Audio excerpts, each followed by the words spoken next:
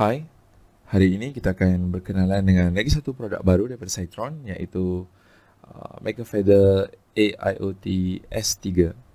So, ini adalah produk terbaru daripada Maker Series uh, di mana dia menggunakan ESP32 lah sebab asas dia. So, ini adalah detail uh, spec lah yang daripada board ni di mana one cell lipo lepas tu dia reset button uh, boot dengan user button, satu RGB LED, satu sebelas LED GPIO dan one piezo buzzer dengan tiga maker port. Right, so jom kita lihat dalam ni. Ni adalah board dia, right? So ini adalah board dia. So boleh nampak di sini. Okay, ini adalah board dia. So board ni dia menggunakan uh, USB Type C. Okay, ada USB Type C. Dan ini adalah LiPo connector, LiPo battery connector. Dan ni adalah tiga maker pot, satu, dua dan tiga jenis maker pot. Dan ni adalah tiga user button, satu adalah untuk reset button, ni adalah boot button dan ini adalah untuk user programmable push button. Dan ini adalah 11 LED yang kita tengok tadi. 1, 2, 3, 4, 5, 6, 7, 8, 9 Dan di sini 10 dan 11, 2 kat sini. Right, so ini adalah bahagian atas board dia. Dan kita lihat bahagian belakang board ni Okay, di belakang blok ni adalah heart of the board ni ada ESP32. Kalau nampak di sini, saya boleh tunjukkan di sini. Right. 32 S3, S3 room 1. Right. Dan dia di belakangnya ada piezo buzzer. ni adalah piezo buzzer. Dan ni adalah on off switch untuk uh, on off buzzer lah. Okay. So hari ini kita nak lihat macam mana kita boleh program dia menggunakan Arduino IDE.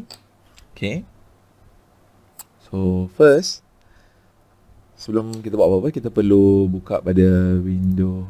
Kita perlu pergi ke site yang ni. Lepas tu kita pergi pada scroll ke bawah.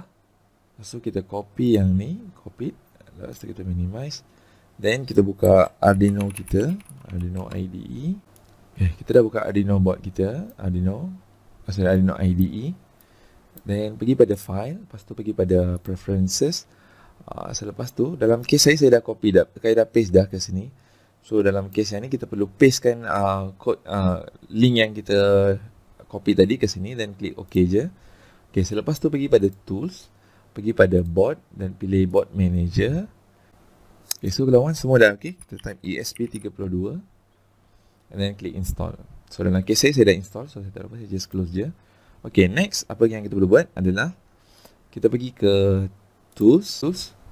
Lepas tu pergi pada board, Lepas tu pergi pada AS Pro 2 Lepas tu scroll sampai ke bawah.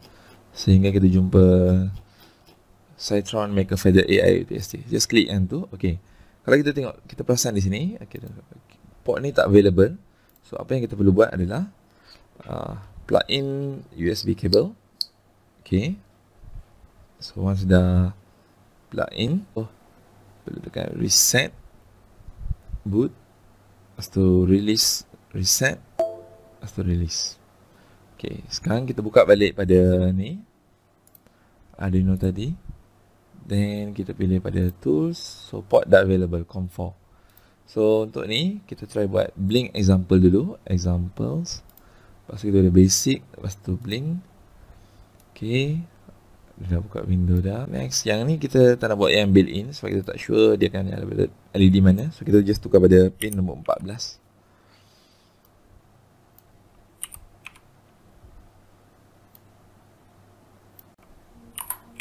Kemudian just klik upload. Okay, kalau semua dah okay, kita just klik uh, reset button. Okay, so kita boleh nampak di sini. Sekarang ni di tengah blink di pin nombor 14 ni. So ini bermakna kita dah berjaya untuk uh, memprogramkan bot Maker Feather AIoT menggunakan Arduino. So kita nak tengok lagi satu example di mana untuk buat Arduino ini uh, menggunakan Arduino ID ini kita pergi example dan kita boleh lihat ada beberapa example yang specifically untuk Maker Feather AIoT S3. Okay, di sini saya ingin tunjukkan satu example lagi di mana kita akan menggunakan Wi-Fi dan kita pilih Wi-Fi scan. Okay, ini adalah untuk test Wi-Fi board kita. So, ini saya akan tutup dulu. Uh, klik no. So, ini adalah Wi-Fi scan. Basically, dia akan uh, dia akan uh, scan untuk uh, wifi yang available Okay, ini kita tak perlu pada network mana-mana kita boleh terus upload je just make sure pada port yang ni dia ada so kalau port dia dah bertukar so tak mengapa just buat macam tadi just klik uh, boot reset release reset release boot Okay, then boleh tu pada port dia dah pilih config balik. So tak ada issue, then just click upload. Okay, basically ni tetap masukkan apa-apa password ataupun uh, password ataupun uh, username untuk pas, uh, untuk wifi sebab kita just nak scan. Di mana dia akan menggunakan uh, wifi, wireless punya ni untuk scan uh, wifi yang available. Okay, so ni dah habis upload. Okay, sekarang kita buka uh, serial monitor. Okay, ini untuk tunjuk wifi yang available. Okay, ni tadi saya just click reset.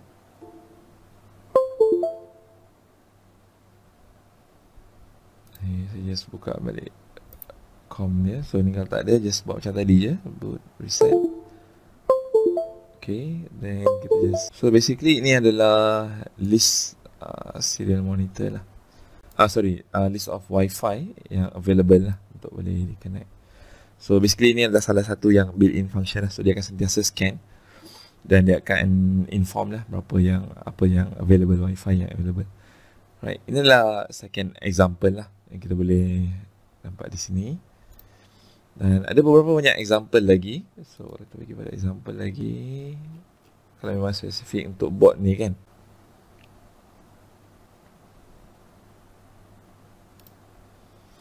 So ini adalah satu example. So ini kita just try run je dulu. Sama ada tengok dia okey ke tidak.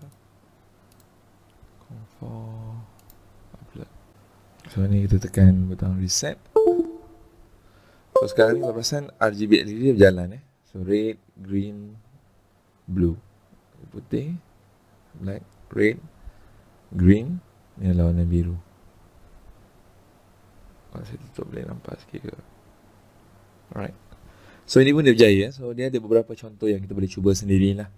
Uh, so mungkin ada yang perlu buat adjustment. Uh, mungkin semuanya bukannya direct daripada boleh guna example daripada sini. Tapi kebanyakannya boleh lah. Uh, so boleh try untuk test coding-coding di sini.